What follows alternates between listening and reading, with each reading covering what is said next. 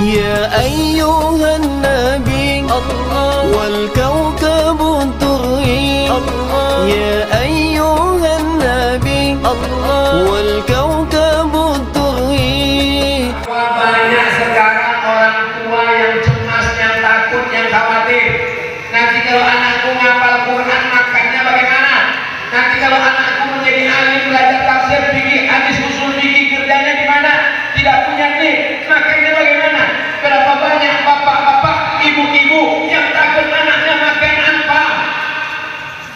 Apa beda engkau dengan orang kafir musyrik dulu?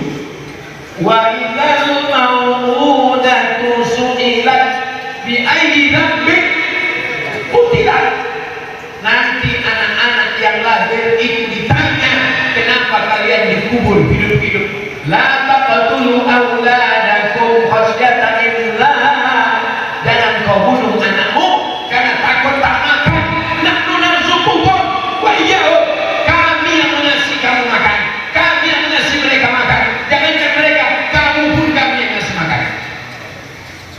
banyak ini sekarang orang tua takut anaknya belajar agama karena takut tak makan.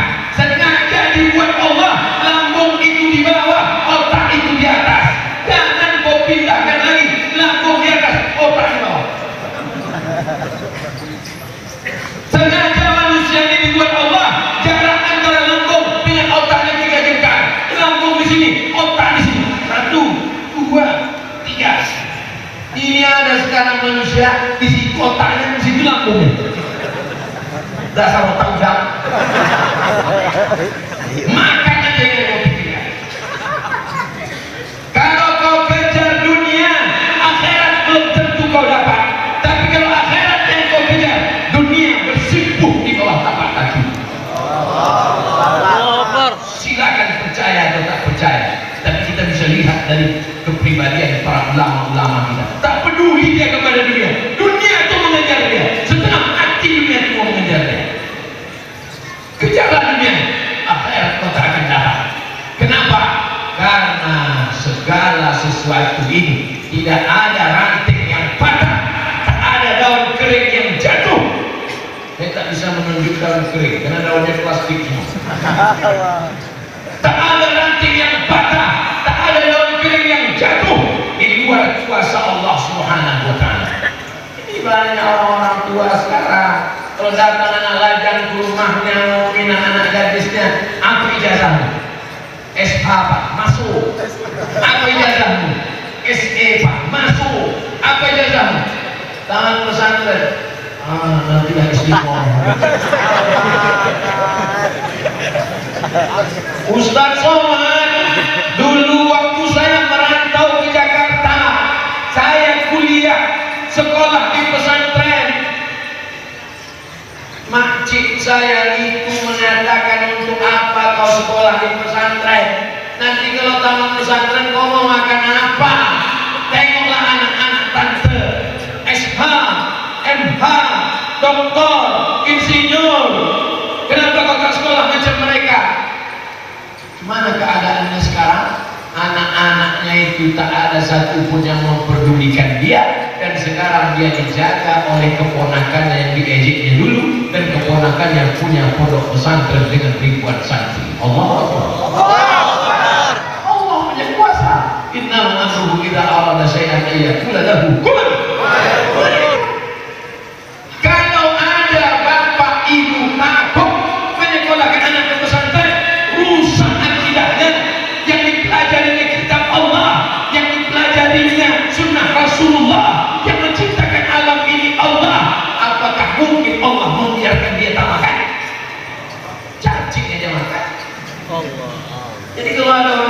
Takut anaknya dalam pesantren tak makan, lebih jelek daripada otak cacing.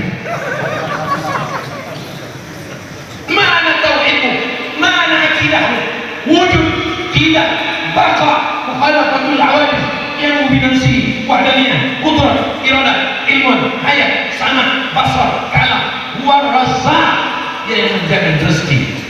La tasqutu min waraqatin illa ya'lamuha. Tak ada satu daun pun yang jatuh kecuali kuasa Allah Subhanahu wa taala. Tapi tetap ada usaha dan ikhtiar.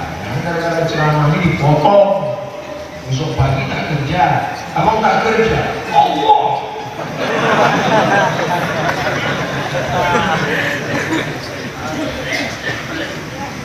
jangan takut kami dulu waktu kuliah tak tahu pulang mana dia saya kuliah Mesir tahun satu, tahun dua, tahun tiga, tahun empat. Tak tahu pulang nanti mau jadi apa. Tak pernah terpikir di kepala saya akan tablik akbar pengajian ratusan ribu orang. Sampai ke mana-mana tutup muka pakai kacamata hitam takut diajak orang foto tak pernah terpikir.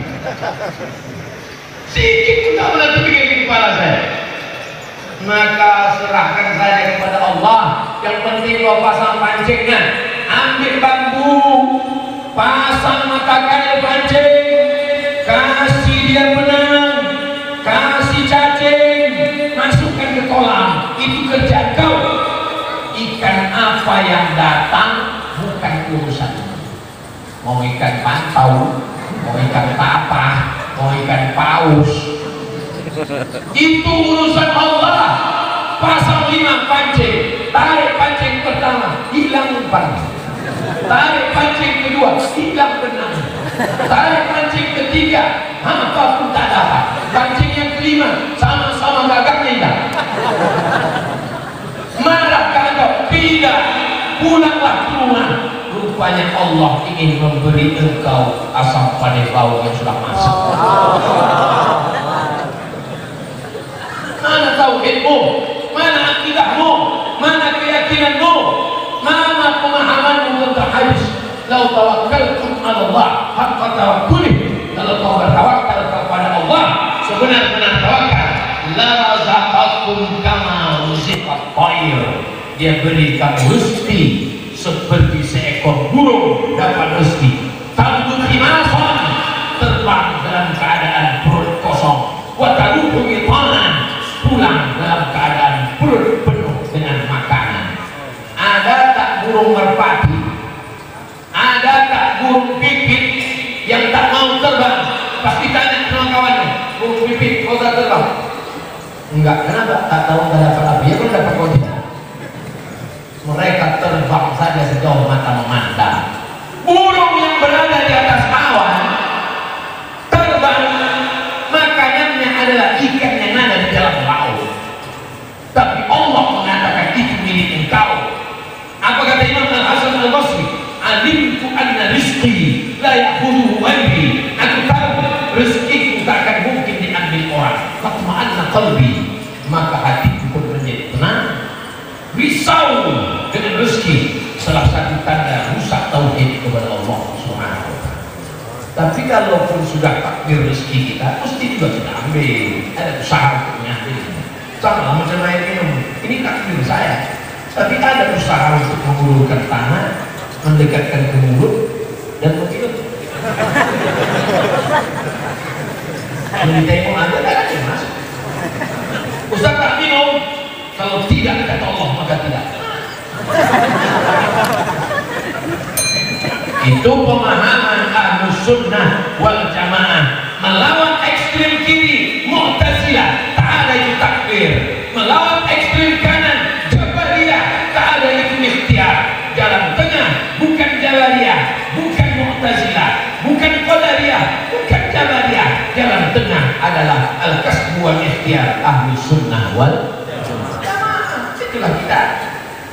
Jadi kalau ada kita tengok orang yang buka toko ada dia buka kafe syariah artinya di dalam itu kalau sudah ada berkumandang berhenti pakaian tak boleh syukur aduh lagi-lagi perempuan sesungguhnya dia bukan taat dia bukan rakus tapi dia sedang menjalankan al-kasmu wal ikhtiar usaha ahli sunnah wal jamaah.